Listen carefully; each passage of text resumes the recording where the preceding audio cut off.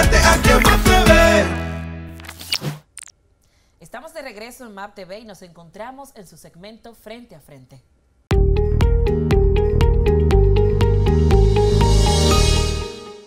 Recibimos a Rolfi Rojas, presidente de la Comisión Presidencial para Desarrollo Barrial. Gracias por estar con nosotros el día de hoy. Gracias, Joy, por la invitación que nos hace para venir aquí a conversar Así es, es un honor para nosotros desde el Ministerio de Administración Pública recibirlo porque el objetivo de este programa, y digo siempre, es acercar la administración pública a todos los ciudadanos dominicanos. Así que en ese sentido nos gustaría saber cuáles son esas competencias y funciones, las responsabilidades de esa comisión. Y nosotros sí estamos cerca de los ciudadanos. Claro. Porque tal y como dice el nombre de la Comisión Presidencial de Apoyo al Desarrollo Barrial. Claro es para ir a, los sectores vulnerables de nuestro país, eh, a ir en ayuda, en apoyo a soluciones tangibles, eh, como son en apoyo de la salud, apoyo a infraestructuras comunitarias, donaciones de electrodomésticos en momentos difíciles.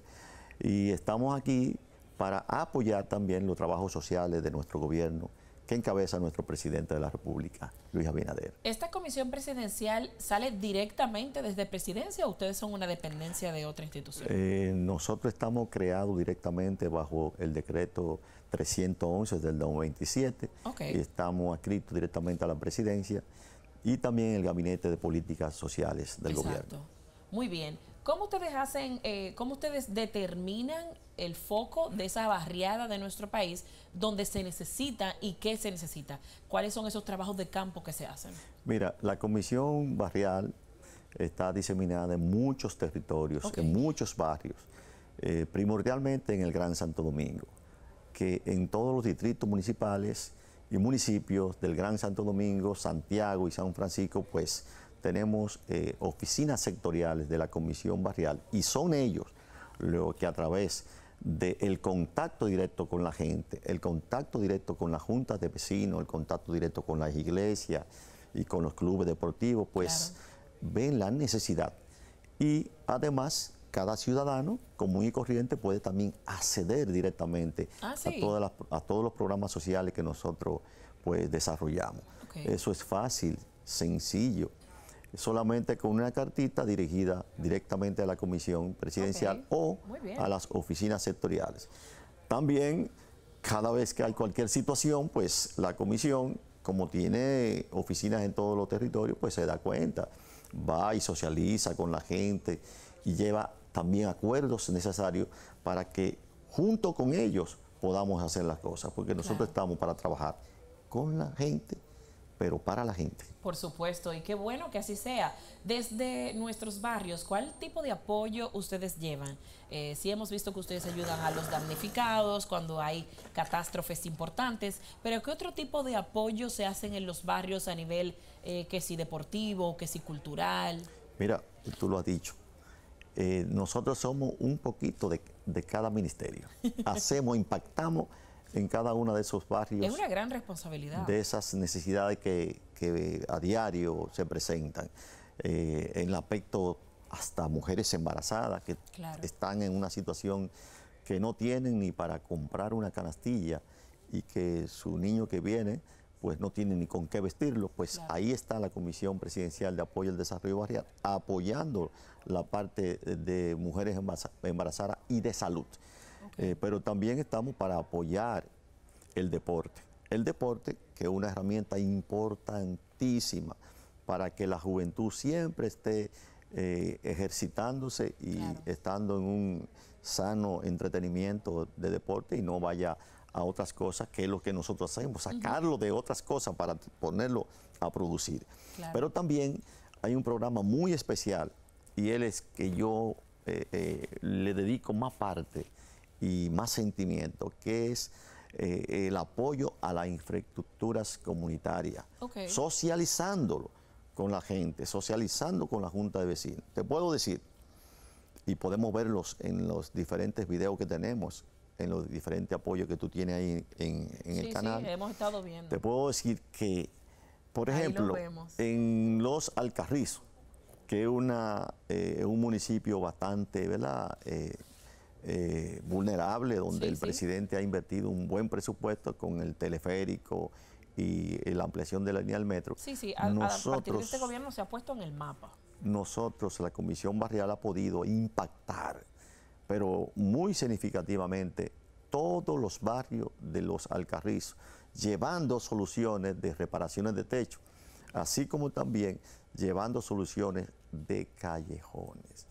Callejones que anteriormente eran lodo. Y con la comunidad, nosotros llevando el material, se integra la comunidad junto con nosotros a poder hacer eh, eh, más digna eh, su territorio, pintarle su casa, hacerle sus callejones, hacerle algunos puentecitos para cruzar cañadas, que una vez me tocó a mí la oportunidad de ir a caminar por esos territorios y vimos cómo cruzaban esos, esa cañada.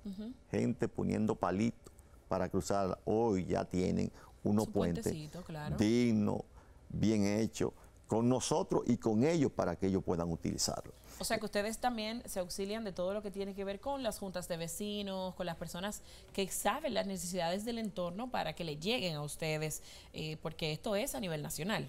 Claro, gracias al decreto 645 que crea la herramienta de Mi País Seguro junto al Ministerio de Interior y Policía, pues ya estamos llevando soluciones a todo el territorio nacional, porque es una herramienta para eh, eh, tener más seguro nuestro país, porque no solamente es el órgano represivo, la policía, la justicia, eh, los diferentes órganos represivos para ¿verdad? tener los delincuentes tranquilos, sino también llevar soluciones tangibles, eh, de, raciones alimenticias y demás, para que de esa manera haya una inclusión social directa, directamente con las juntas de vecinos. Te decía que con las juntas de vecinos nosotros socializamos todos los temas que tienen que ver con su territorio, porque la junta de vecinos es un órgano electo por su comunidad, o sea, una representación de su comunidad que cada cierto tiempo los ayuntamientos pues eligen a sus representantes y entonces ya con ellos nosotros entonces socializamos, nos reunimos, investigamos con ellos cuál es la necesidad prioritaria, no solamente para nosotros directamente hacerla, como lo hacemos, porque si no lo proponemos lo logramos, sino también encaminarla, dándole el seguimiento con las demás instituciones del gobierno para que lleguen más rápido a su solución. Decimos, Sí, y que los, las alcaldías son gobiernos locales. Decimos que si obra pública, eh, si ellos necesitan que se les falte su territorio, nosotros entonces a través de obra pública, ¿verdad? socializamos ese tema y buscamos la solución para que obras públicas lo, lo pongan en el punto de desarrollo y lleven esas soluciones así en, en todos los aspectos que tienen que ver con todas las instituciones del gobierno y darle el seguimiento a las diferentes obras que viene realizando nuestro gobierno a, través de todas las instituciones públicas. O sea que ustedes trabajan en conjunto con las demás instituciones del Estado, me imagino que con MIBET también, con el Ministerio de Obras Públicas, eh, con las alcaldías, ¿cómo se trabaja eso? Sí, con las alcaldías eh, nosotros directamente, porque nosotros donamos eh, muchos electrodomésticos, donamos todo ese material de construcción para poder hacer esas, esas, obras.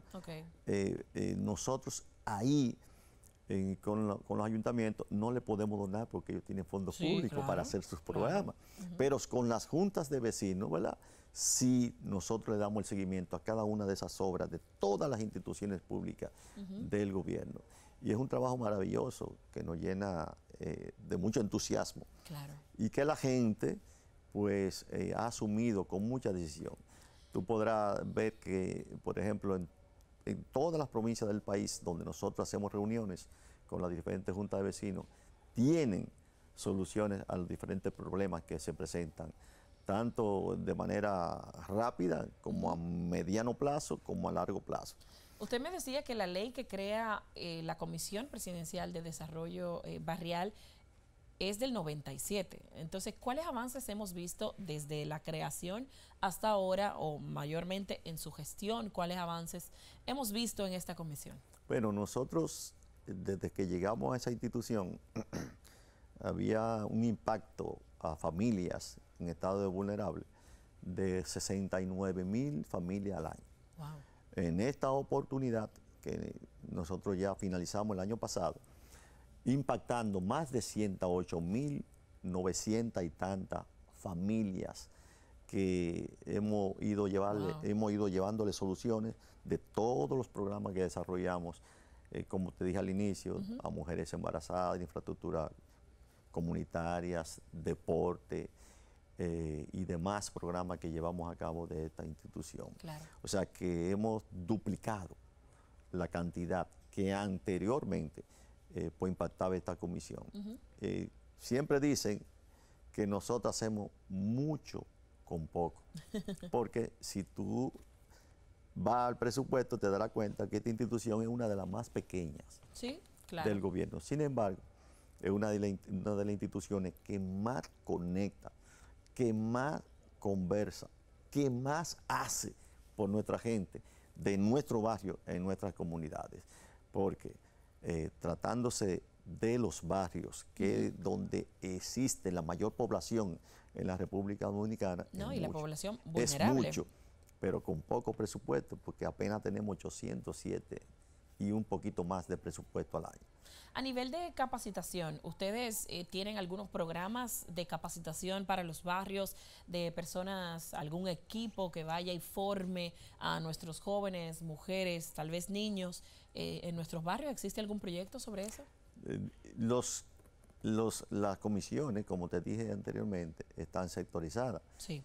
Y en cada territorio, en cada comisión, pues se reúne también con los muchachos de los barrios eh, y damos eh, adiestramiento, damos cursos también para eh, poder llevar em, emprendedurismo a, muchas comunidades. Excelente. Ya nosotros tenemos Pecadería de mi barrio que hemos impactado y hemos colocado en diferentes barrios, que es una, una forma de emprender nuevas, nuevos negocios, emprender mujeres que no tenían la forma de llevar su aliento a su familia y a través de un convenio con Codopesca, pues hemos llevado solución a 30 familias en ese, en ese aspecto. Pero también a esas mujeres embarazadas que nosotros también le damos y le donamos su canastilla, en algunas ocasiones hacemos ese curso de la de entrenamiento para que sepan, ¿verdad?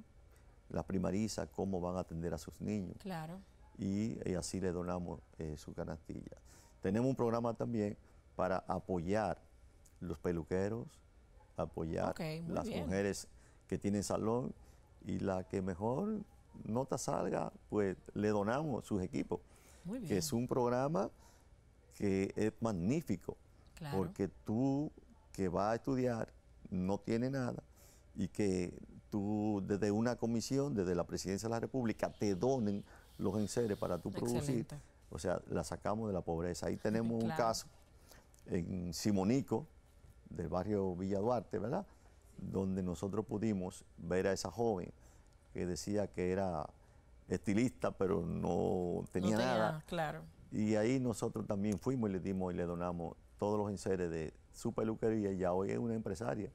Excelente. Ya, ya hoy está mucho que... Y así se trabaja Ya hoy está mucho mejor que otros que trabajan en, un, eh, eh, eh, en una empresa.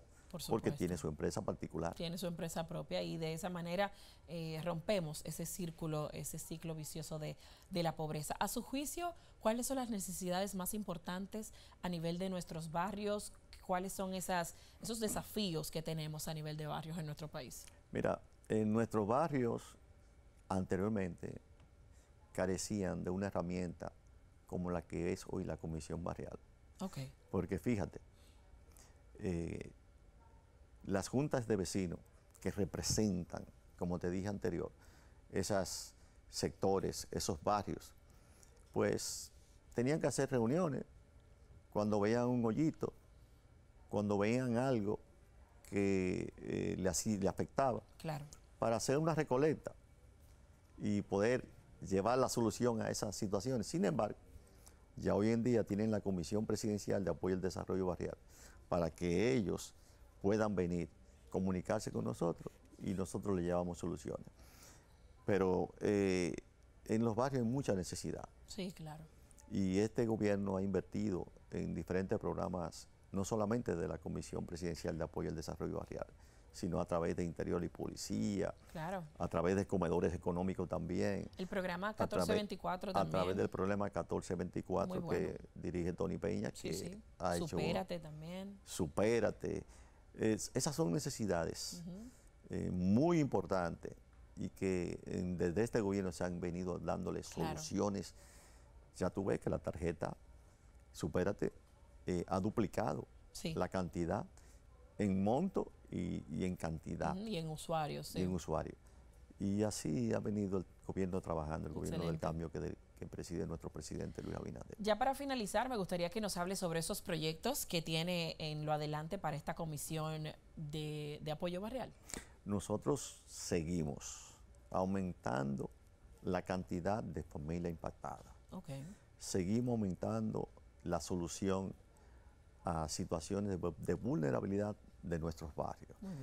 Llámese eh, reparaciones, como lo estamos haciendo, de techos en viviendas que tenían más de 25 años, que tenían esos techos en total y mala condición, tanto la madera como su zinc. Ahí estamos viendo los trabajos que hacen. Impactando en la reparación, pero masivamente, bajo un programa eh, importante que tenemos de Construyendo Dignidad, masivamente en la reparación y de todos los callejones que podemos encontrar en todos nuestros barrios. Excelente. Y sobre todo, eh, invertir mucho más en la parte de cultura y de eh, deporte. Por supuesto. Porque anteriormente la Comisión Presidencial no apoyaba la cultura. Hoy en día desde el inicio del programa Mi País Seguro en Cristo Rey, pues ya invertir en la cultura es muy importante a través de la Casa de la Cultura, que casualmente está en Cristo Rey. Excelente. Así que seguiremos muy bien. avanzando, seguiremos multiplicando la acción social que hacemos desde la Comisión Presidencial. Excelente. Bueno, yo, yo, entiendo que es un trabajo muy bonito, sobre todo de la población más vulnerable de nuestro país, vive en los barrios de nuestra República Dominicana, donde existen personas muy valiosas, personas que se levantan cada día luchando por salir de ese círculo de la pobreza y que muchos lo logran con su esfuerzo y con su trabajo. Y qué bueno que existan comisiones como estas que puedan impulsar a que las personas lo lleven un poquito más fácil. Gracias por estar aquí el día de hoy. Gracias a ti y seguimos. Así es. Bueno, continuamos con más contenido aquí en MAP TV. Luego de la pausa no te muevas porque continuamos celebrando el mes de la mujer. Adelante.